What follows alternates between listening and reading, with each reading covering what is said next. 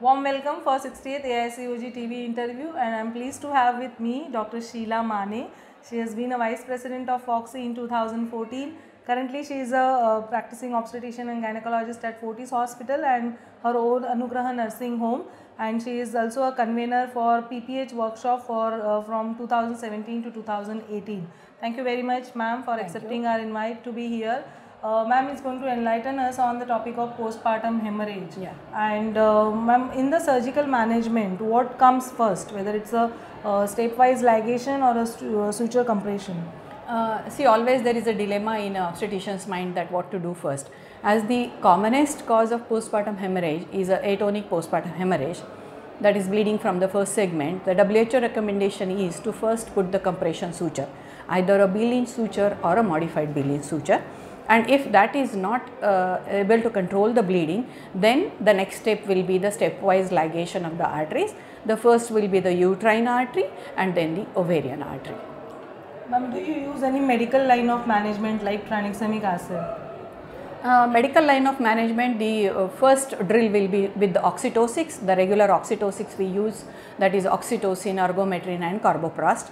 And now the newer drug that is the tranexamic acid where the trial has been completed that's the woman's trial and is been recommended now for the treatment of postpartum hemorrhage and all of you must uh, have heard Professor Arulkumaran telling in the morning about the use of tranexamic acid and it has to be used immediately as early as possible within one hour because that can help to reduce the mortality uh, that is proven that it reduces the mortality even by 30 percent. So, if it is used early it is more beneficial and even WHO also recommends that. So, we can use 1 gram over a period of 5 minutes and if required can be repeated after 60 minutes. So, tranexamic, acid is the new drug.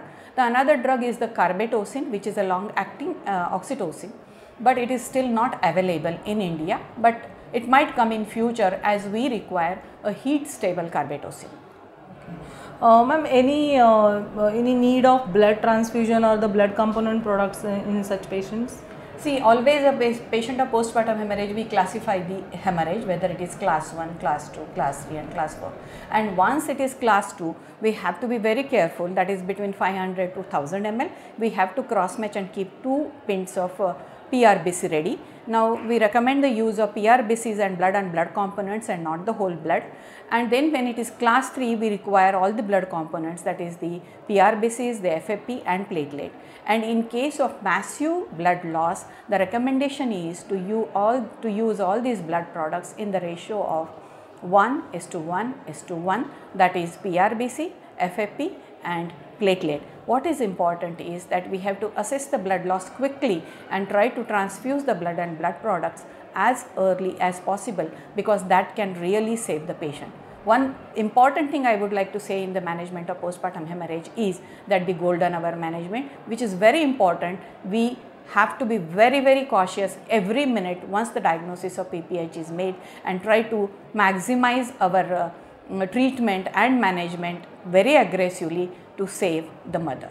Absolutely, very well said, ma'am. Can we have a one-liner, quick take-home message for our new practicing gynecologist for the management of PPH? I think for the management of PPH, the first I said is the golden hour. Try to learn the surgical techniques and you see that you have a team approach because anytime any patient can develop. So, have a team who is always ready to come and help you and you have to practice this SOPs so that that helps you in case of an emergency. Thank you very much, Thank ma'am. Thanks for those wonderful insight on the PPH as uh, important, uh, which is very, very uh, commonly we see in our practice. Thank you very much.